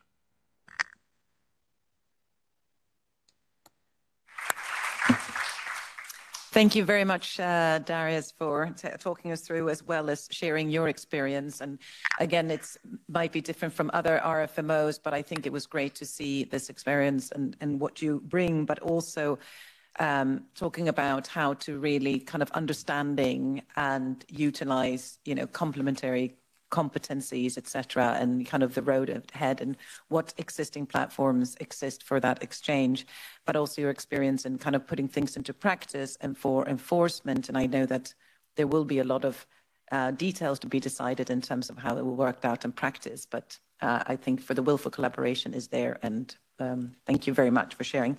Um, so we're now going to turn to um, our last speaker, Dominic Pattinson from OSPAR, from the OSPAR Convention. So we talked about Regional Fisheries Management Organization and their relation with BBNJ, but also the Regional Seas Program. So, um, Dominic, are you online here? I will happily give you the floor. Thank you. Yeah. Uh, thank you, uh, and and thank you for for inviting me uh, to this event. Um, I just wish I could be there with you in person.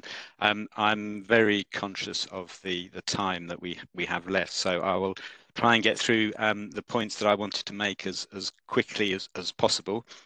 Um, just to, to recap, so yeah, I'm Dominic Pattinson. I'm the, the executive secretary at the OSPAR convention. And just very briefly, for those that, that don't know about OSPAR, um, so we're the Regional Sea Convention uh, for the Northeast Atlantic. We have 15 uh, contracting parties, sort of from uh, Greenland, Iceland, all the way down to, to Portugal and the Azores. Um, and importantly, the, the, the, European Union is, is one of our contracting parties as well. Um, the other point I would highlight at the outset is that uh, OSPAR, unlike uh, many regional sea conventions, uh, has a mandate to operate in the in areas beyond national jurisdiction. In fact, around 40% of our uh, the OSPAR maritime area is in is, is in ABNJ, which obviously is of relevance to the to the BBNJ agreement. Um, and we cover um, uh, everything from radioactive substances, oil and gas industry, all the way through to sort of uh, biodiversity, pollution, noise, litter, all of those things and have lots of experience on the issues that I think Miss Lee was referring to under the CBD, uh, like uh, litter and, and, marine litter, as I said. Um, and just a bit of context, so our contracting parties are still sort of discussing how the uh, how the BBNJ will sort of impact OSPAR's work. So, so what I'm going to say is a sort of bit of a mixture of what I uh, what I think they they think, um, um, but also some of my own views on on uh, what the BBNJ means for OSPAR's work. Um, it was very sort of pleasing to hear what I think is some really common themes coming through all of the presentations about the importance of collaboration and cooperation it's something that uh, is very much in line with how OSPAR works, that building consensus. We tend to try and get consensus on the measures that we, we want to sort of put forward because we think that that means they're more likely to be implemented. And I think, as I say, it was really pleasing to hear all the emphasis being put on collaboration and, and coordination in, in the earlier presentations and how uh, BBNJ um, will sort of provide a strong driver for improved uh, cross-sectorial sort of inter-regional cooperation and collaboration. And that, that's very much uh, in line with how uh, OSPAR is already working in the Northeast Atlantic. Um, uh, as Darius highlighted, um, uh, our sort of the OSPAR maritime area and NEAFC area sort of overlap.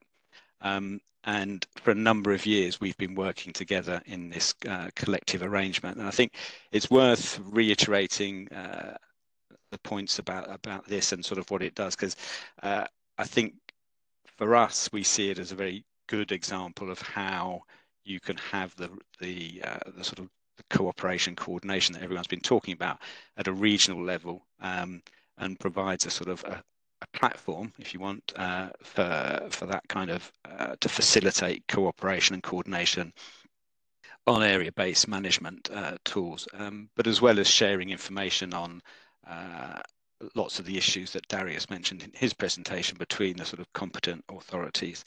Um, uh, uh, and going forward, and and we had um, there was a bit of a pause due to COVID um, but we had our latest uh, collective arrangement meeting uh, only a few weeks ago in June. Um, and I think it was it was very well attended, um, not only by the contracting parties from OSPAR and NEAFC, but also other competent bodies such as the ISA, ICCAT, uh, ICES and UNIT.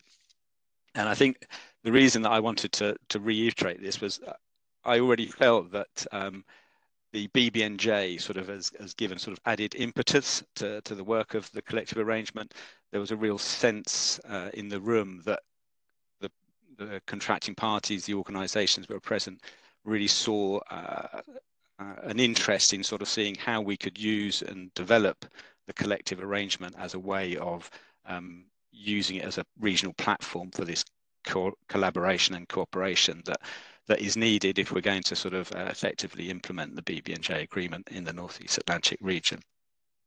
Um, the next the next point I wanted to to highlight uh, in relation to OSPAR's work is again as as, as Darius mentioned is he's showing his uh, uh, experience of having been in my role a few years ago um, is our work on uh, um, MPAs. So it's a key feature of OSPAR's work is our MPAs in in ABNJ.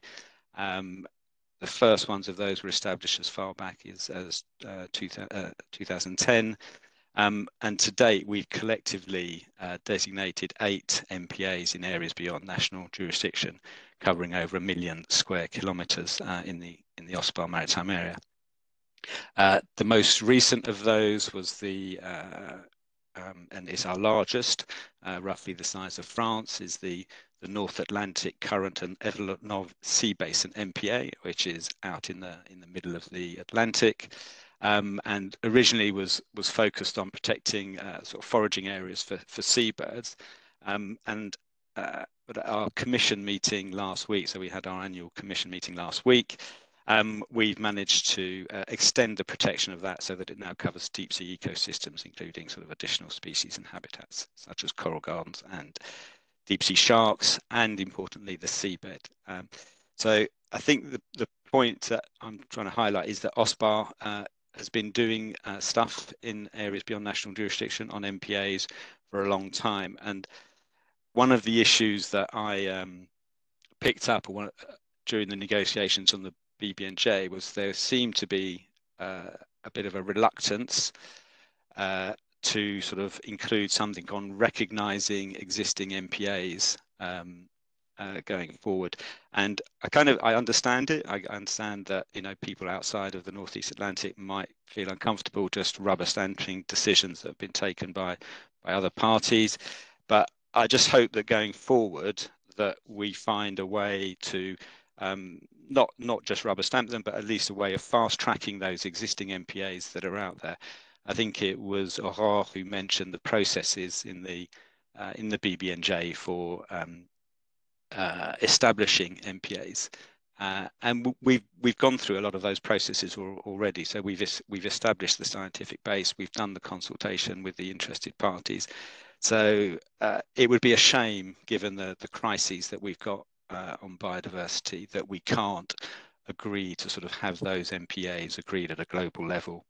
Um, uh, I think the, the, the challenge we've got, and again it was alluded to by Darius, is that um, our mandate in OSPAR is limited, so we need to work with other com competent bodies, IMO, NEAFC, uh, ICCAT, on putting in place the necessary measures to protect uh, the features and habitats that we want to see protected in those MPAs. Uh, just very briefly, um, we're also looking at EIAs and SEAs in OSPAR, um, and I think we see that as uh, our contracting parties are keen to sort of build on whatever comes out of the BBNJ uh, processes, but OSPAR might want to uh, have uh, uh, or lead by example and set more stringent uh, standards in that space, but that's work that's in, de in development. And then very, very finally, um, I think just in relation to the CBD's global biodiversity framework, I think clearly our work on uh, MPAs in areas beyond national jurisdiction would be how we see OSPAR contributing uh, to the achievement of the global biodiversity framework, in particular target three.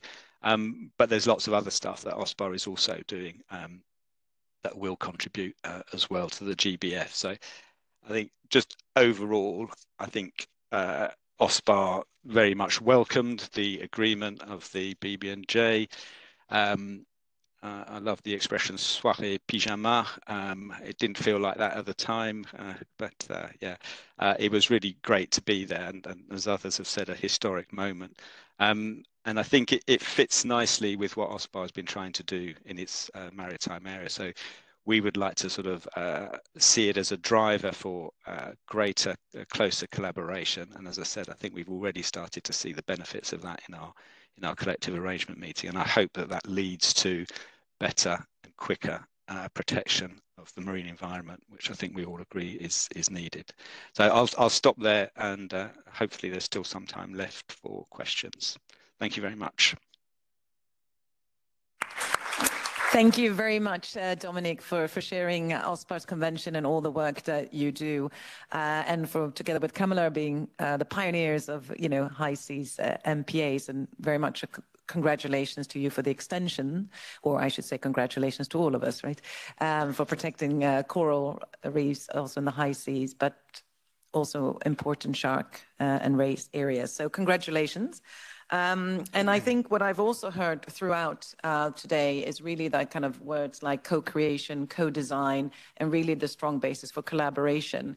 And as you said, sometimes when you have um, multilateral, you know, agreements or that at the consensus level, sometimes it doesn't mean that the bar stop there. You can always go beyond and be more ambitious. So I really like to hear when I heard that you said that OSPAR liked to lead by example or leading by example, and the focus on going forward from where we are today. Um, we have strong ambitions to have you know, more MPAs established on the high seas, to have modern environmental impacts assessment conducted, uh, as we heard, as well as the kind of needs and for you know equity in all forms of implementation. I think going forward, it's we really need to think about number one is really to bring this treaty into force. We need to have at least 60 uh, states ratifying it, and it doesn't need to take 12 years like with UNCLOS. Uh, it can be done faster. It has done been done before. Um, but in order to get the states to ratify, I think it is really important that part of the capacity building, not only what are the next steps and what you need to do, but also to think about the awareness raising of the benefits. I think agreeing on the text is one thing, but that might still be misconstrued, misconception. What does it really mean and uncertainties? And I think that's really important to, to work together to, to work this out. And of course, building those uh, and frameworks, and that needs to be done in parallel, and the capacity building both for science and technology. So once again, uh, there's been such uh, a pleasure. Uh, we are uh, officially over time, but um, MEP Ms. Chabaud has said that she will be able to stay a few more minutes, and I would like to give the opportunity to the audience to pose a few questions, um, and then we'll have some closing remarks from MEPs. So I will now open the floor to, to anyone here, firstly in the room, uh, who would like to ask a question. Please say, state your name and where you're from and who you are addressing the question to. Thank you very much. The floor is open.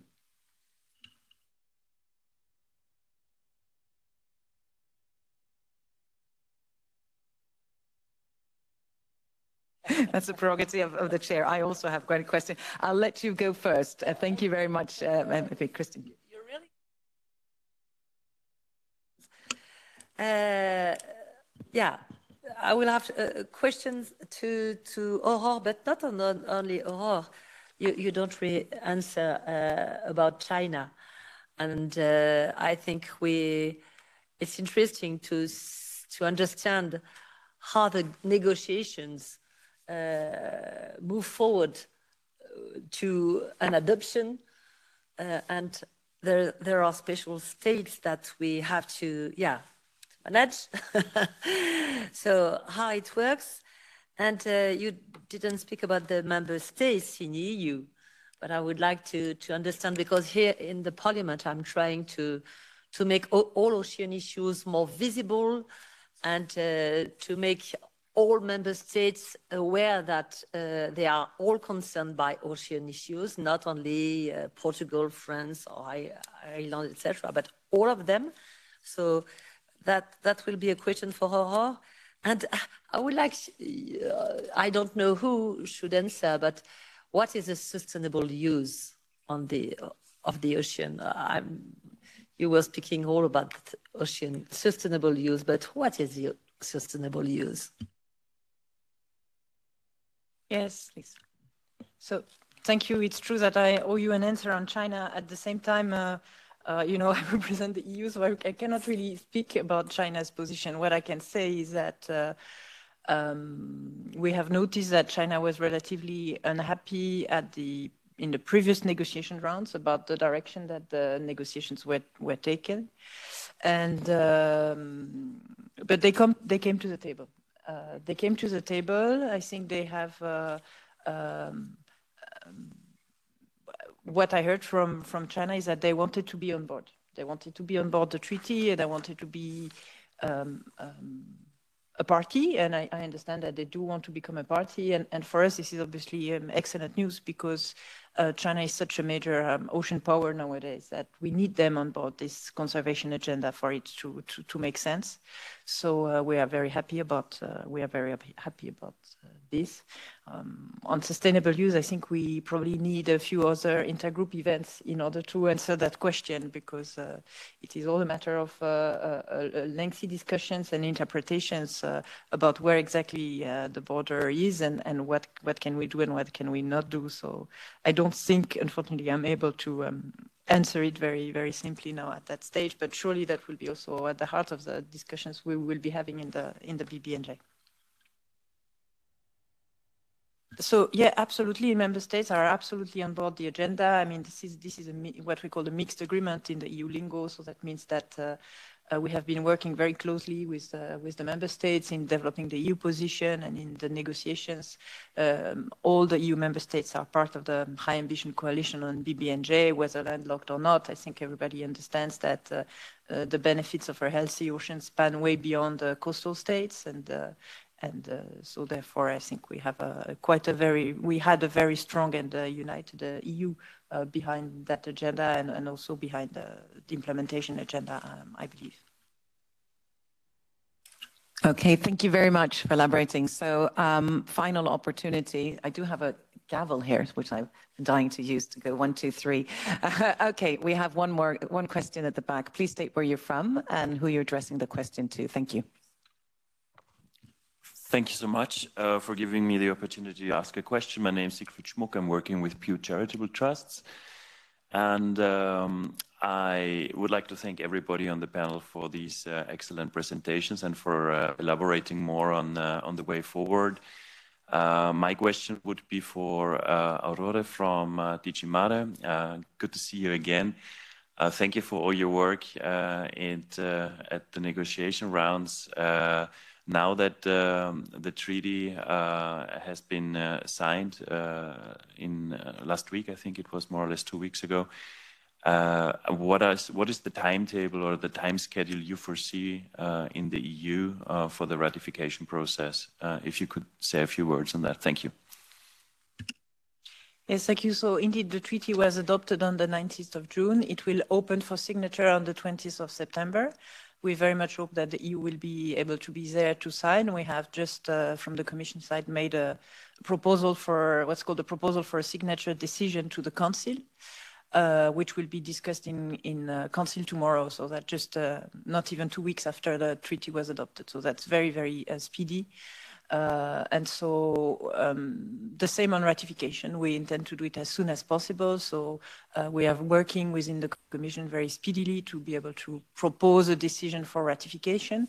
Then how long it will take will depend on uh, on uh, how long the Council will take uh, to uh, examine and adopt that decision. And then the ball will go to the European Parliament, which will have to give its consent.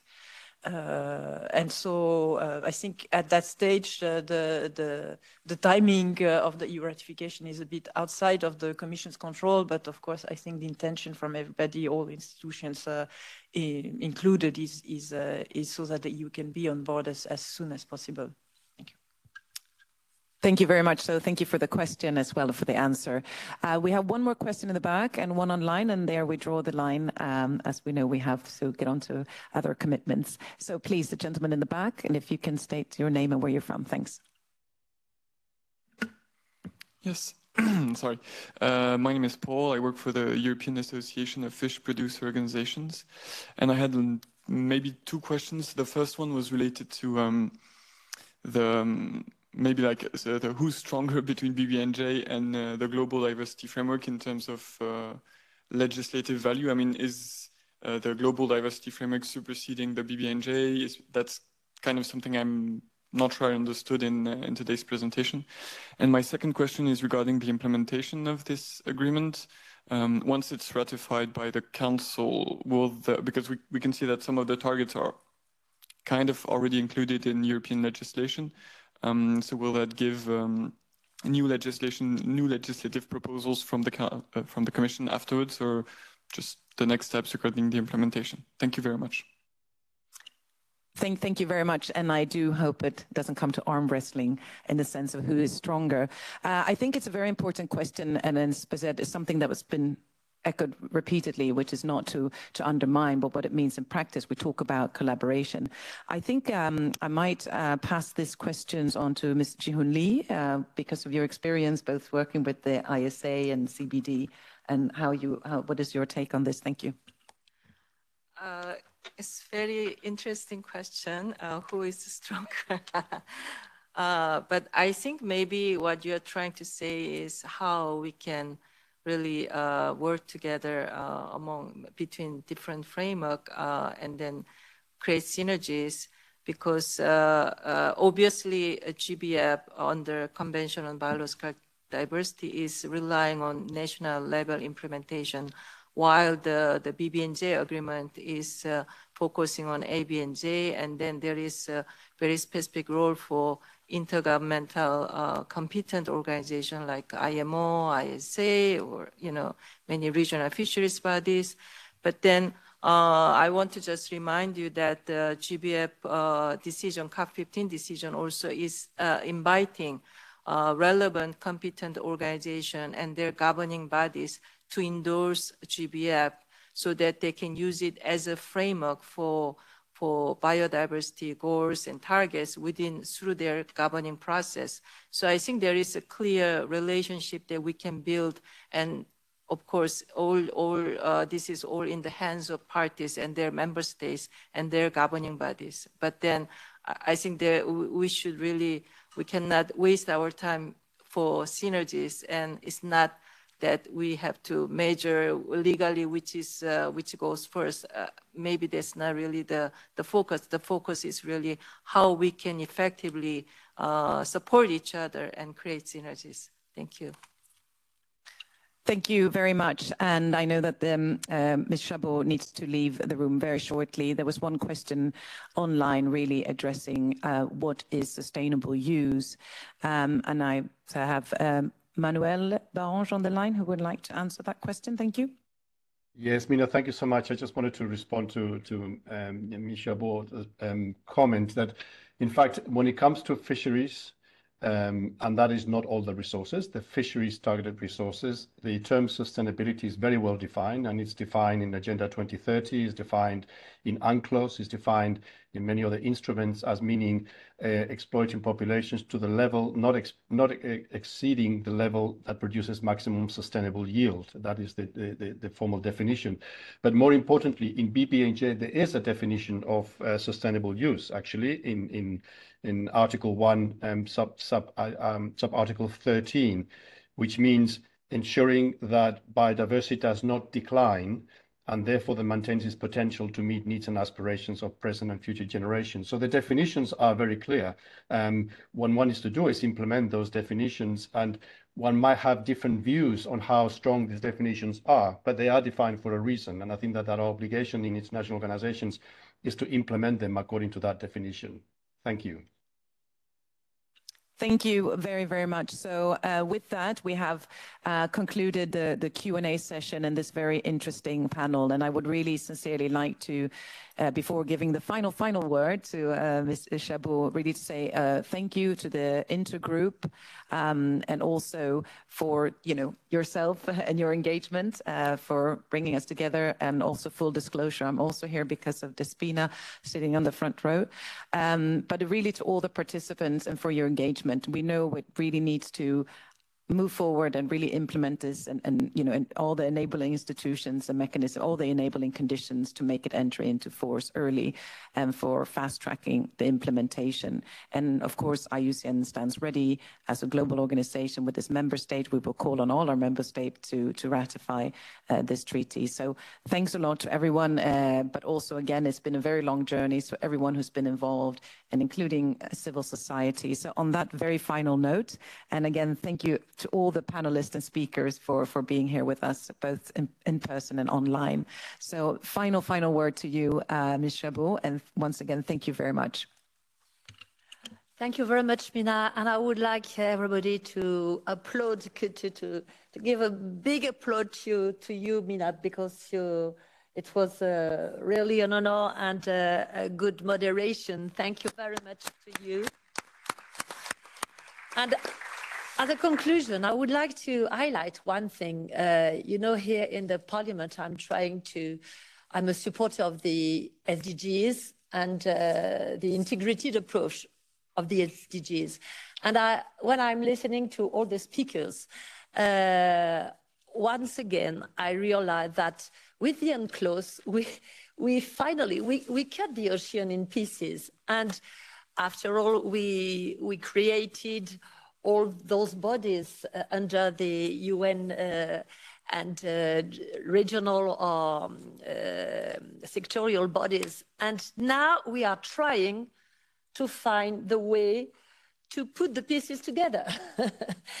and I think, uh, and I'm very optimistic for, for but, but it will be a, a hard work because I'm optimistic because I I feel the willing willingness of everybody. We we we we really want to cooperate. Cooperation, as you mentioned, Minna, is the word. Uh, and but I think we we should more invest in the SDGs, as uh, Mr. Campbell, I think, uh, was speaking of uh, of the SDGs, because I think it's a universal tool that we we, we should use more.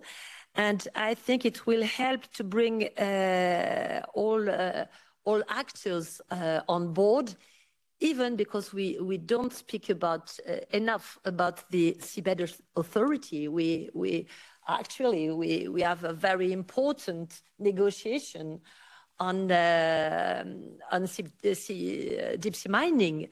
And I think for me, of course, there, there is, we, should have organized an event on and, uh, and the seabed authority negotiation. Uh, yeah, there's a lot of things to, tell about that. But so I think we really need to think how we could more have better international ocean governance. And I will. I was speaking yesterday with the General Secretary of the IMO, and uh, asking him the, the same question because IMO is working on uh, biodiversity protection as well. And do they work enough with the others, other, other bodies uh, uh, under UN? Uh, um, under the UN, I don't know. And he, he told me that, of course, they need to be uh, closer uh, to the other, uh, to, to, the BBNJ negotiations, to the UNEP, to, to the FAO, etc., etc.